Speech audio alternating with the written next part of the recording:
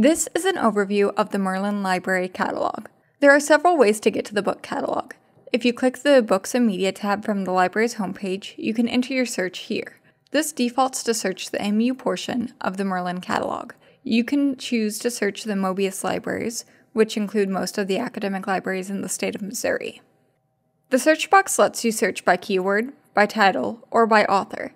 If you'd like more advanced search options, click Search and you will be redirected to the Merlin catalog. The Quick Search tab is the main search screen. In the upper right is the Merlin logo. Merlin is the name given to the catalog of the four UM Systems libraries. On the right, there is a link to a Mobius search. Mobius is a statewide library network. Merlin is a part of Mobius. In the middle of the page are your search options. The page defaults to Quick Search, which allows you to do a keyword search, a title begins with, a journal, magazine, and newspaper title begins with, or an author search. The next page is the advanced search. This allows you to do keyword searches in specific fields and to tie them together with Boolean operators. It also allows you to add limits. Next is the subject search. These are searches by Library of Congress subject headings, medical subjects, or genre form terms.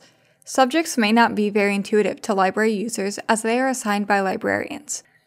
But if you can find the right subject, you find all the books in the library about that topic. Finally, there are numbers other searches. These are mostly used by librarians. When you run a search, you will be taken to a results page. In many databases, all types of searches bring the user to a results page full of titles. Merlin is a little different. If you search by title or keyword, you'll get a list of book titles. But if you search for an author, you'll get a list of authors. Similarly, if you search by subject, you'll get a list of subjects. Let's see an example of a results page. I'm going to search title begins with. I want to search the word Platonic. I'm going to make sure my search looks at only the MU campus libraries. What I retrieved is a list of titles that begin with Platonic. If I click the title of the book, I'll be taken to the book record, where I can find the call number for locating the book. A search that brings up a different type of results page is an author search. Here I'm going to search last name, Clay, comma first name, D. Here I have a list of authors whose last name is Clay and whose first name starts with the letter D.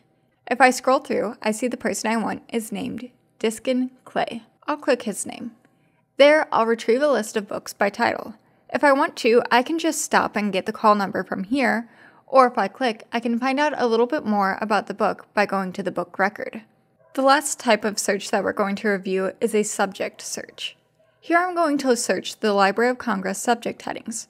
I'm going to put in Platonic, like before, and search MU only. What I get is a list of subject headings.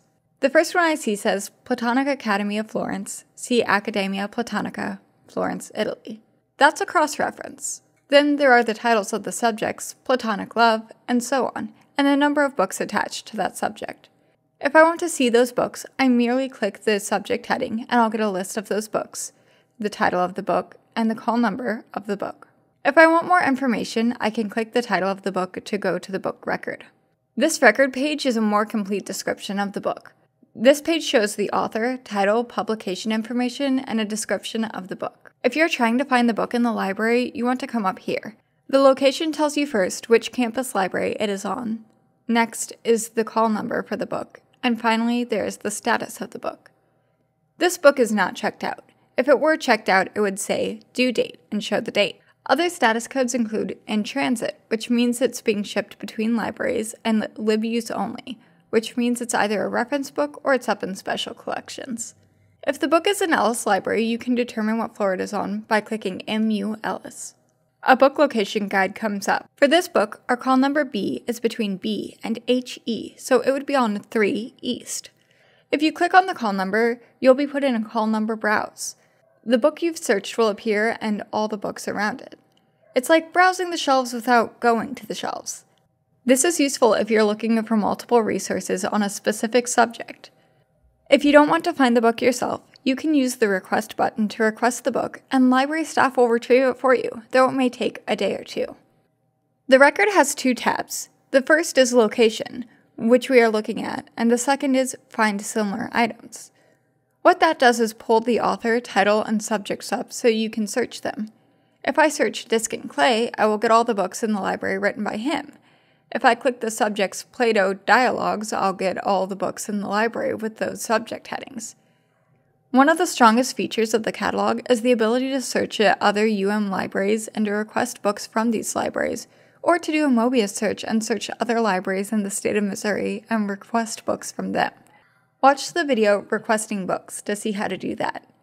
Thanks for watching, and if you need any help, come to the Checkout and Information Desk on the first floor of Ellis Library or contact us through our website.